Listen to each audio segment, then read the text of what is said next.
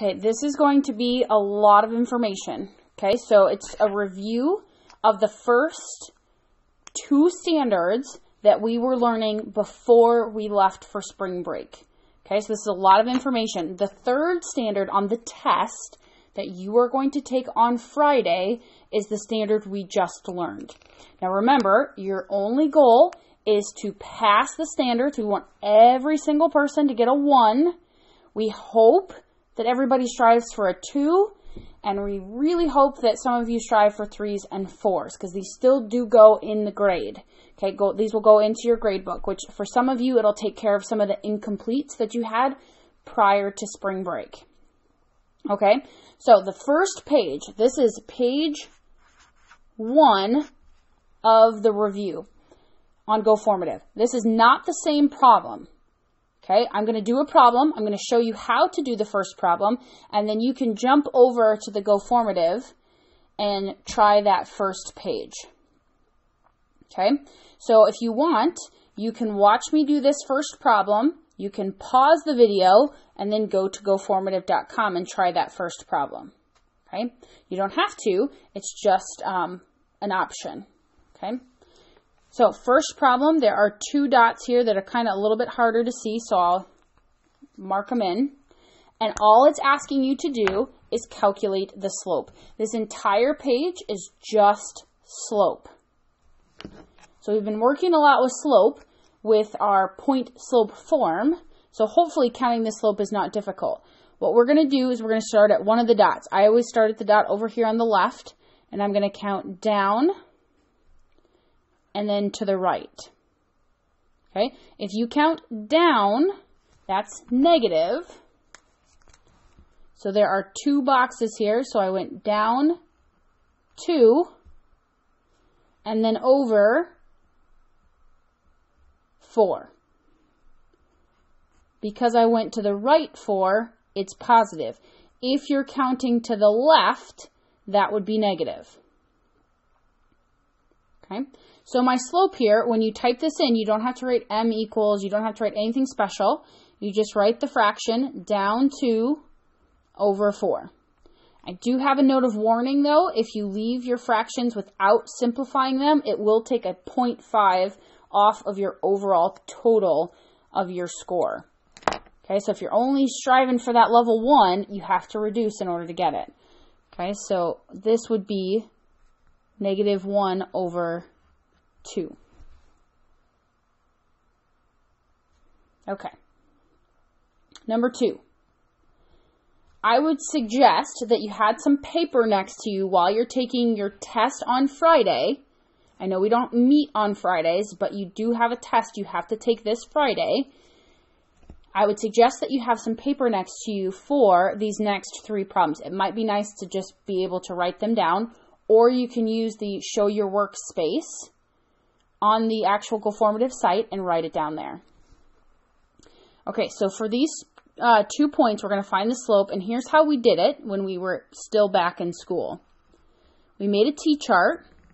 You put your x's over here on the left. You put your y's on the right. So the first x I see is 2. The first y I see is negative 3. The first x I see is negative 4. The first y I see is 0. Okay. Then what we did is I said, okay, how far is it from negative 3 to 0? And how far is it from 2 to negative 4? Now, some of you might have your strips of paper with your number lines on them, but if you don't, you can draw a new number line with me here.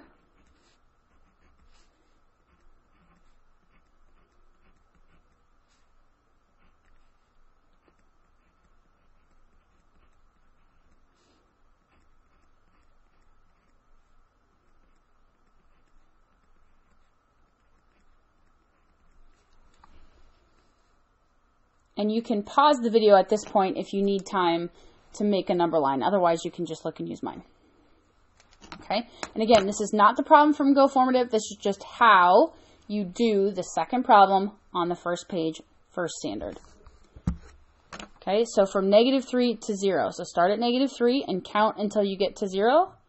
It's 1, 2, 3. I'm at 0. So that's a 3. And again, remember, if you're traveling this way, it's positive. If you're traveling this way, it's negative. Okay, so now I'm going to do the second one, which is to start at 2 and travel till I get to negative 4. 1, 2, 3, 4, 5, 6. And I went down, so that's negative 6. Now, something that you may have forgotten is you are now supposed to make a fraction. So your answer should look like this. So when you make your fraction, which one of these two numbers goes on top? Okay, and it is always this one that goes on top, the y number, because we rise first and then we run. So that rise is our y number. Okay, so what I have here is 3 over negative 6, which reduces to 1 over 2. And I put the negative out front here. It doesn't matter if the negative is out front or if the negative stays with the 2. That doesn't matter. Let's look at that again. So it's the same process for the level 3 problems. So right here, you're at a level 2. If you can get both of these correct, you're at a level 2. A level 3 pushes you up to that A minus level. So we're going to do the same thing.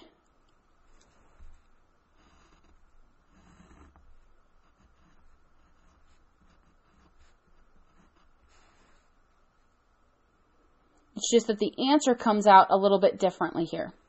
So from 5 to 5, how far did you go to go from 5 to 5? Well, you didn't go anywhere. So that's a 0. From 3 to negative 2, from 3 down to negative 2 is 1, 2, 3, 4, 5 and I went down, and it's which two of these numbers goes on top. It's this one that goes on top. This number over here is always going to go on top. So that's negative 5 over 0.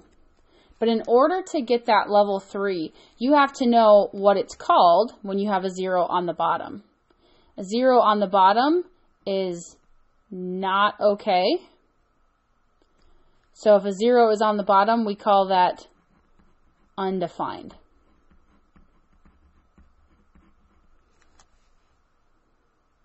Okay. If you happen to have a zero on the top, which is what you would get for this one, that answer is just zero. Okay, so that kind of counts as the reducing part as well. So to get yourself fully to a 3, you have to make sure to write undefined and 0. Okay? Okay, so that gets you to a level 3. If you're interested in a level 4, you can keep listening or you can scooch ahead a little bit to um, the next page. Because the next page is the next standard, um, and you need to make sure you look at the level 1 and the level 2 from page 2. Okay, so this is the level 4.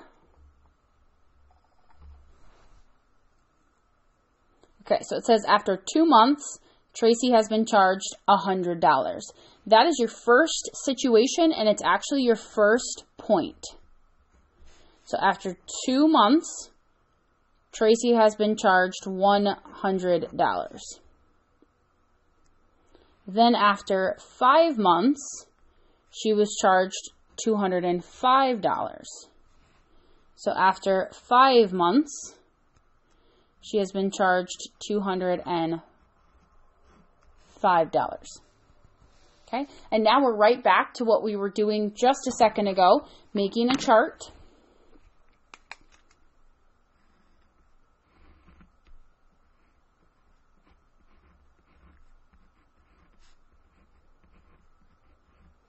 and figuring out how far it was from one to the next. Okay, so from 2 to 5, is 3. And from 100 to 205 is 105. Now let's say you don't know how to get that number, okay? If you don't know how to get this number, what you do is you subtract right here. So you take this number is found by doing 205 minus 100. Okay, that's how I found that number. Which one of those two goes on top? That one on that side does. So it's 105 over 3. This is literally the only time you might pick up a calculator um, during this time, unless you need it for this part, 205 minus 100. You should check to see if this divides nicely. If it doesn't, you leave it, right? You keep it just as it is. But if it divides nicely, we want to go ahead and divide it. So what I get when I divide that is I get 35, and then if I divide that, it would be over 1. So it would be 35 over 1. So that's the answer for part A, rate of change. It's 35. But it will then ask you to explain what that means. Okay? Now, all that is asking you to do is to put some labels with these numbers. So the first label that came from the problem was two months. So this column with two and five, that's months. And the second label that came was this $100. So this 100 and this 205, those are dollars. So then when you put them into the fraction, that was dollars over months. So now, to explain it, it is 35, that's still on top, dollars. Where'd the months go? It's technically still there, it's just a 1. So $35 for one month, or you could just say per month. Okay, that is your standard one. What I would do is I would pause the video here and I would go and do the practice on GoFormative, and then I would come back for page two. Okay, so you can hit pause and, uh, and then come back when you're ready for page two.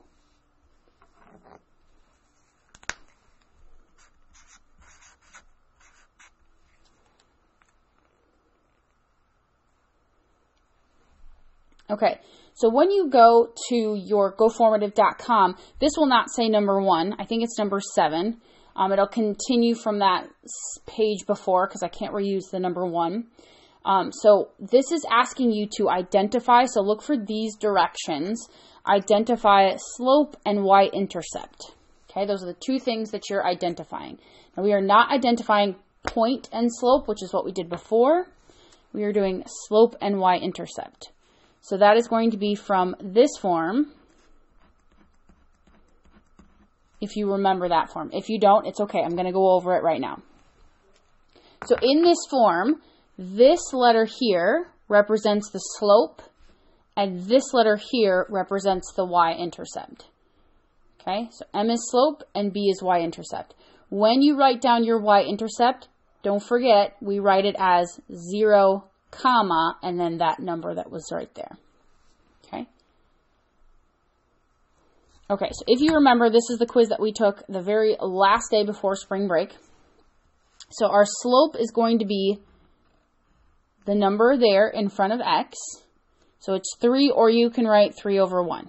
3. The y-intercept is this number at the backside. Boom, it's 4 which needs to be written as 0 comma 4. So the first number you see is the slope. The second number you see is the y-intercept. Okay, you're already at a level 1. You have already passed. You already get to move on. But let's at least strive for a level 2. Okay, just in case we mess up on level 1, maybe you can get some saving grace here. Because you can also get a level 1 if you get this, this question over here correct, but not this one. Okay. All right, so this one also asks for the slope and the y-intercept. Again, there's two dots here, but you can't see them very well, so I'll make them a little bit bigger. Okay, so slope is the same thing we just did on the last page, where I'm just going to count down and over. Okay, so I'll start here on the left. I'm going to count down and then over until I get to my other dot. So it looks like I'm going down 2 and over 3. So I just write down 2 over 3. And then the y-intercept. The y-intercept is the dot, it's the number on the y-axis. There's my y-axis. So what is the dot on that line? So that number is at negative 1. It's kind of hard to see this, but here's 0, 0. Here's 0. So it's negative 1. So we write that as 0, comma, negative 1. And you're already at level 2. That was it. Okay? Now again, these problems are not the same as the ones on Go Formative. They're different, but this is how you do that problem on the second page, second problem. Okay, now I'm going to show you how to graph down here at the bottom. Okay, again, it's been a while since you've done this. There are two examples. You can watch both of them, or you can pop back into the chat if that doesn't make sense. Okay. So this is my y-intercept. So what you're going to do is you're going to start at this number on that y-axis. Okay, that's your y-intercept, so we start there on the y-axis. So I'm going to start at positive 5 and put a dot there. So 1, 2, 3, 4, 5. Here's 5. Okay, and I'm halfway there. The second dot comes from starting here and counting your slope. So this is very similar to point slope form. Okay, I use my slope to find the second dot. I just have to start here instead of starting at a point. I'm going to start at this y-intercept. So my slope is down 1 over 4. So the negative 1 tells you to go down 1 and then to the right 4.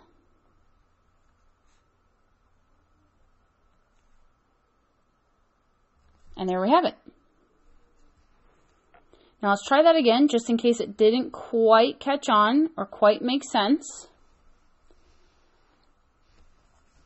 Okay, so for this one, we are going to start at this negative 2 that's on the backside. That's the y-intercept. So start by putting a dot at this number on this line.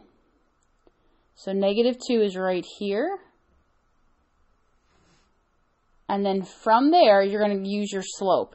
Now this slope says 2, which means I'm going to go up 2, but you have to go to the right 1. Okay, so you'll go up 2 and to the right 1.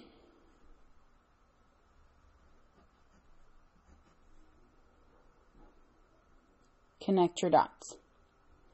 Okay, so this last one is a level 4. So again, up to you uh, how much of it you want to see or not see.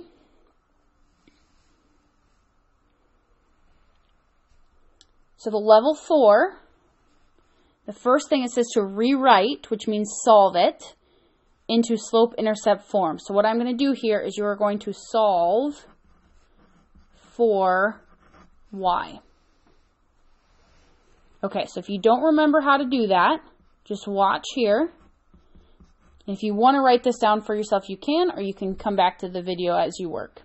So the first thing you've got to do is get rid of this x part by doing the opposite. It's positive, so I'm going to subtract.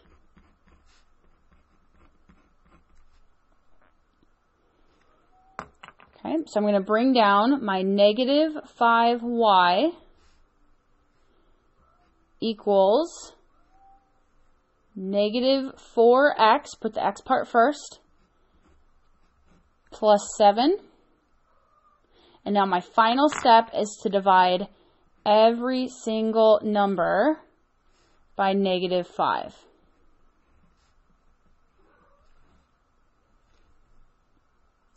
Okay, and there's your answer.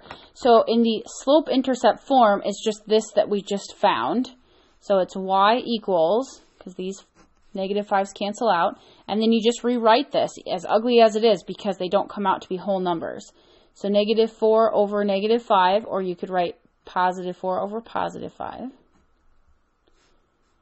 And then this would be a negative 7 over 5. And then from there, you find the slope. So the slope of this one is 4 over 5. And then the y-intercept is 0, comma, and then negative 7 over 5. Okay, so then right again, I would pause here and I would go and do the second page on the Go formative. Okay, now page three is exactly what you did on your standard check. Okay, so on page three, I'm actually just going to go over questions one and two. Okay, and that's it. So if you have any other questions, you can pop back into the chat and ask me about page three. Like I'm not, still don't know how to do my level four, um, but we've gone over this uh, a bunch this last week, so I think we're okay. If not, you can ask me questions um, back in the chat. So our slope, and then our point. Okay, so this is just what we've been doing all week. And last week, so we're going to start here, be 2, comma, negative 7. And that's it. That's how I get a level 1 on the third page of the test on Friday. Okay? Then when you go to graph these, you're going to do that same idea. You're going to pull out the point. You're going to pull out the slope. And then you're going to actually graph them. So this is actually the quiz that you took uh, the other day. So 2 comma 8 is the point right here. And then from that dot, you're going to go down to and over 1. And that's it. That's the test that you will be taking on Friday. So look for that link. You'll get a link for feedback for this Go Formative that you're practicing today, and then you'll get a link for the test. So you can go and check and make sure you know what you're doing before you actually go to take your test.